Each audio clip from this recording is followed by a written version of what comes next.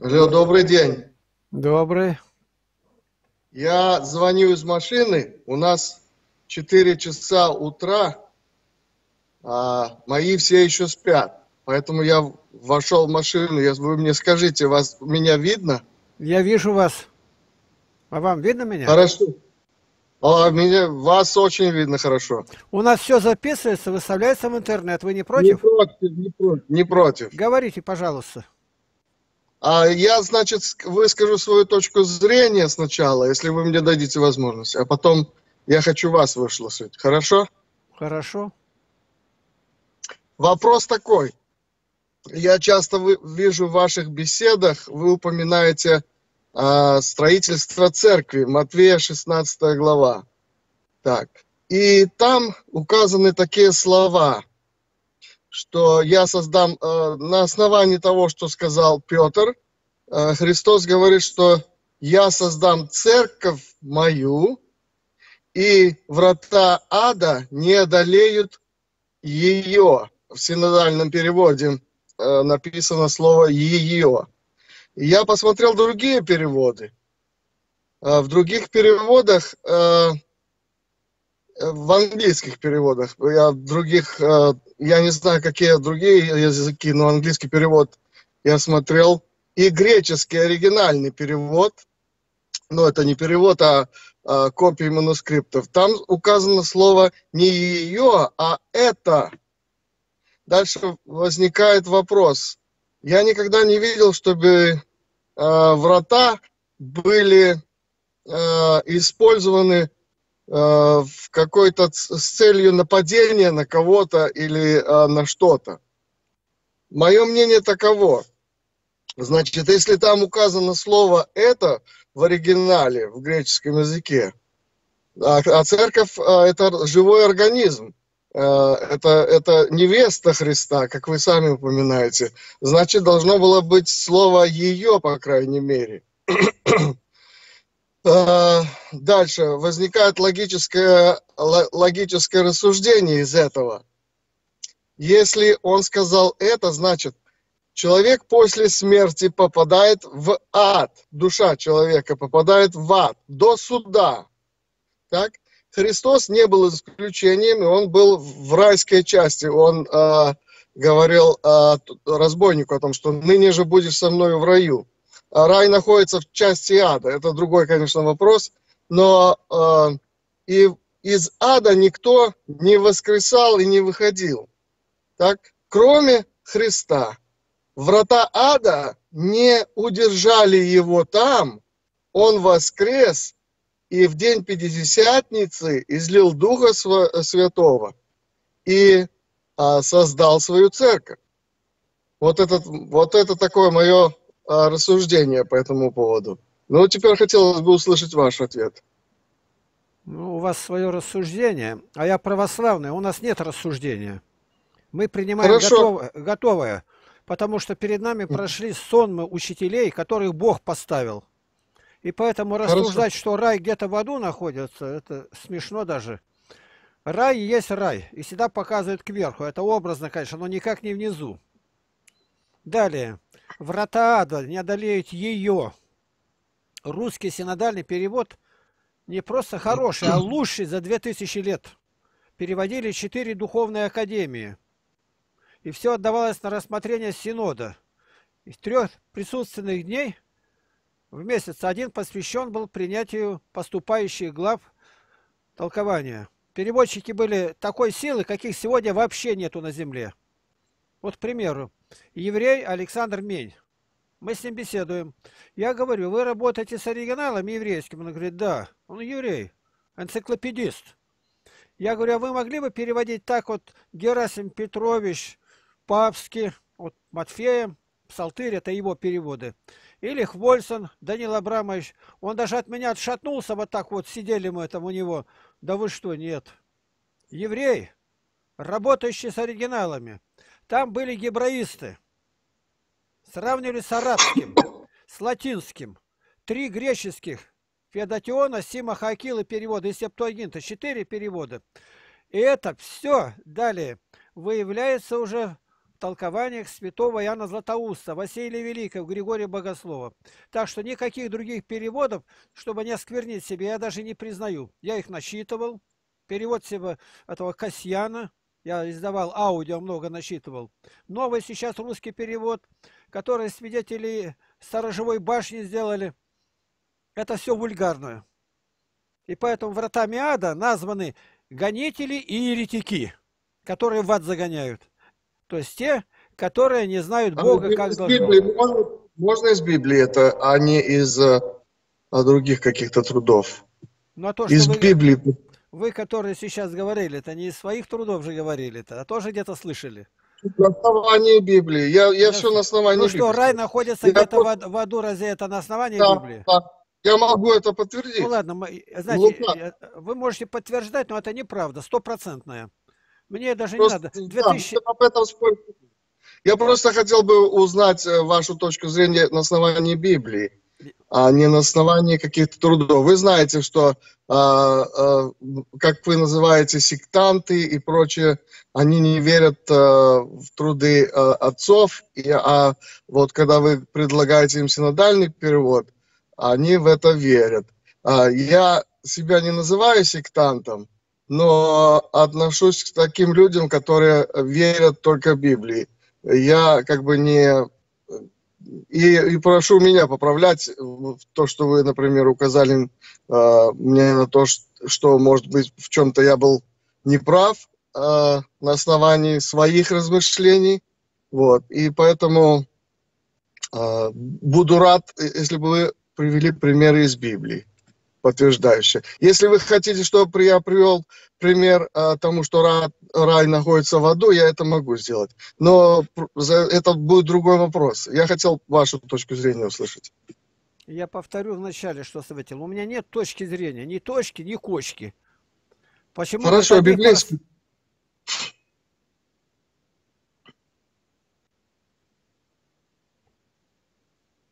Выскажите все, чтобы потом меня не перебивали, я буду отвечать. Говорите. И я, я еще раз повторяю, что на основании библейских писаний, библейских текстов э, и оригинала э, в, э, в в- в качестве греческого языка, там нету слова «ее», там есть слово «это». Поэтому э, 2 плюс 2, если прибавить, будет 4. И э, когда мы э, обращаемся к другим текстам, вы также употребляли эти слова по отношению тысячелетнего царства, в которое я не верю, что э, должны э, библейские тексты соответствовать друг другу. Они не должны противоречить. Если есть какое-то место, значит, и оно э, нам кажется непонятным, мы должны его примирить с другими текстами. Поэтому э, я это одобряю, то, что вы говорите, и примеряю вот эти слова с другими текстами, и сделаю вывод, вывод на, на основании того, что рай находится в аду, и Христос, врата рая не удержали его там, он был воскрешен, он ходил по земле, люди его видели, и он создал церковь свою, также излил Духа Святого в день Пятидесятницы. Спасибо. Вы спросили, я вам отвечаю, Да. как понимала церковь с первого века. Потому что одних поставил апостолами, вторых пророками, в-третьих учителями. И отрезать третье, какие же мы тогда христиане? Мы по частям размонтировали Библию, ничего в руках уже и нету. Василий Великий говорит, откуда мы имеем? Это наше предание. И Павел говорит, кто не будет принимать предание, имейте его на замечание. Предание первичнее Писания. Вот в чем дело-то. А еретики, сектанты, они отбросили, и поэтому колобродят, кому как вздумается. Откуда мы это имеем? Еще раз повторяю, Василий Великий Ага. говорит, это мы имеем из священного предания. Предание, то есть в устной форме, передавалось до написания Евангелий. Если Матфей пишет через 5 лет, Марк через 7, Лука через 15, Иоанн через 35. А как же они тогда были без Писания? Устно передавали. Устно. И вот в, этой, в этом предании уже было толкование. Ну, первое, как Ириней Леонский, Игнатий Богоносец. По-другому, зачем мне понимать, когда церковь, мученики понимали так, как я сейчас говорю?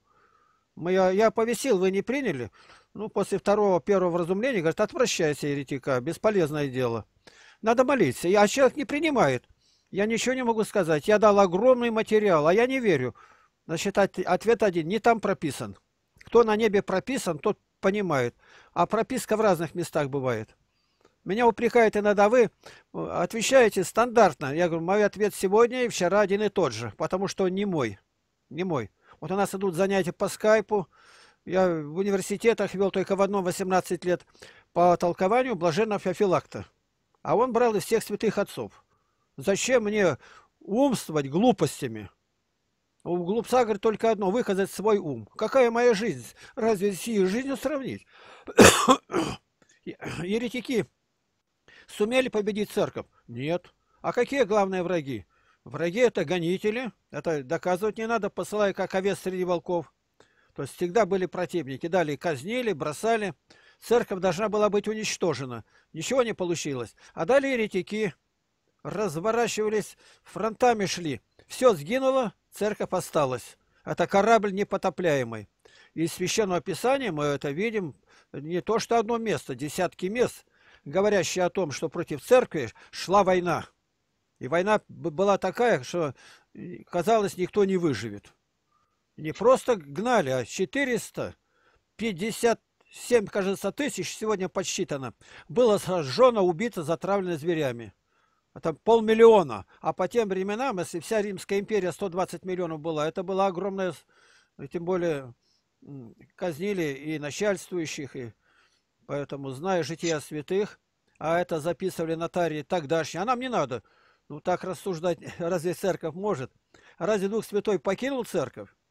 А я спрашиваю, а кто такой Игнатий Богоносец? Его шесть посланий осталось. А нам это не надо. Это что выходит? Дух Святой перестал действовать? А кто он такой? Это тот ребенок, которого Христос держал на руках. Таковых есть Царство Небесное.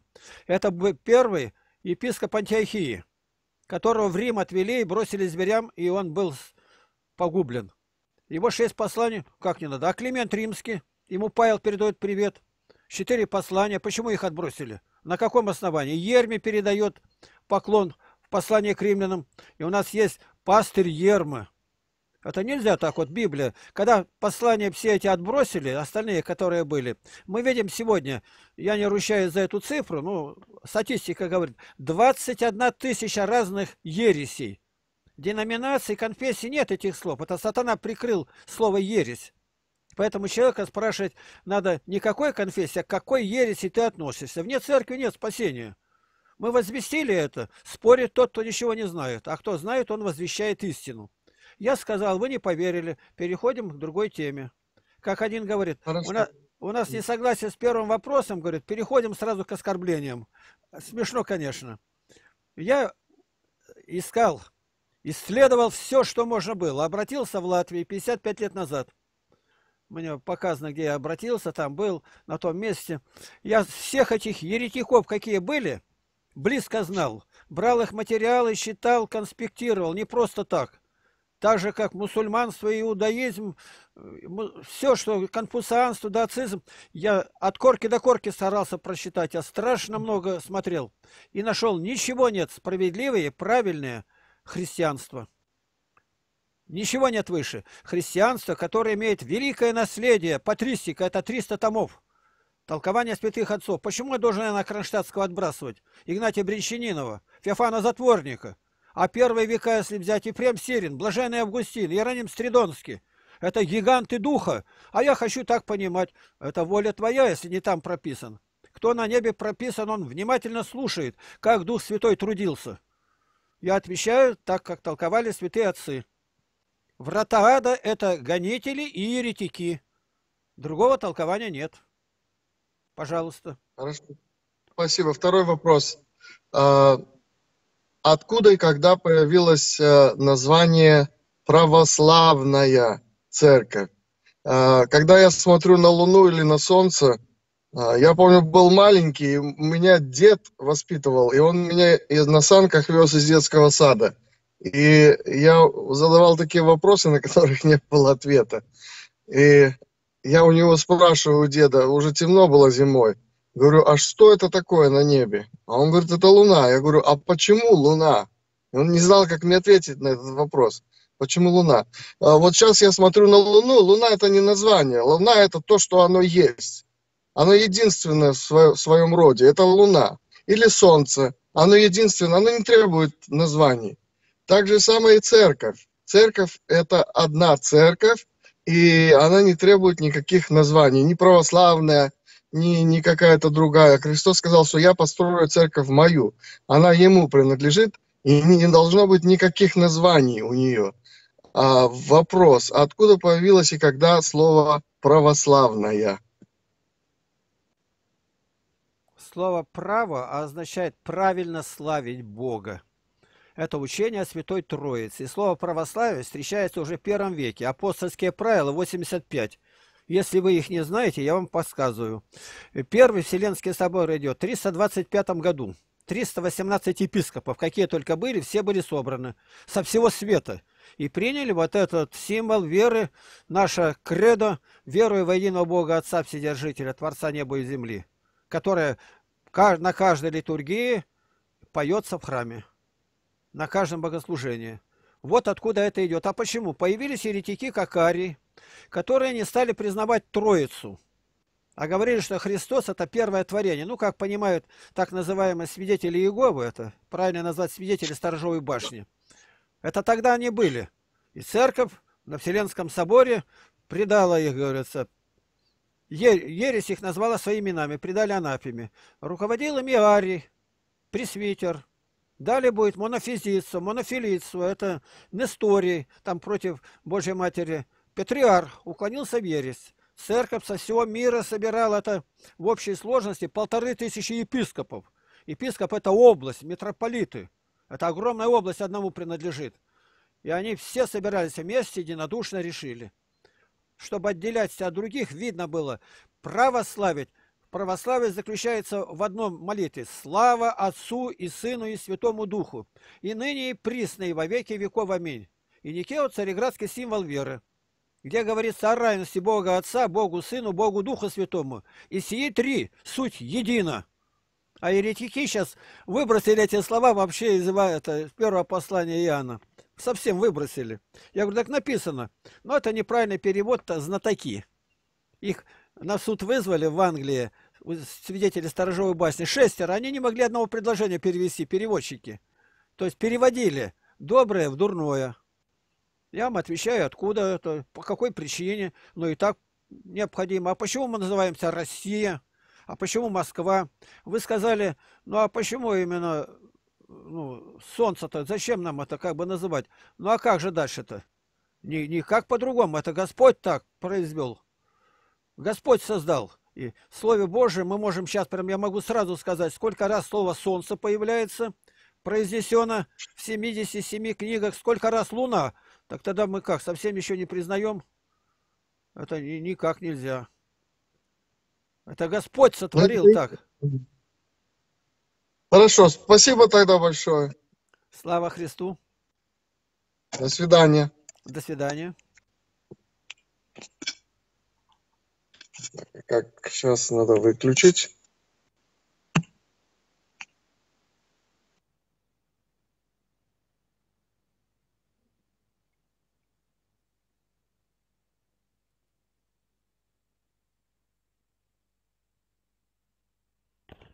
Что-то не отключается у вас?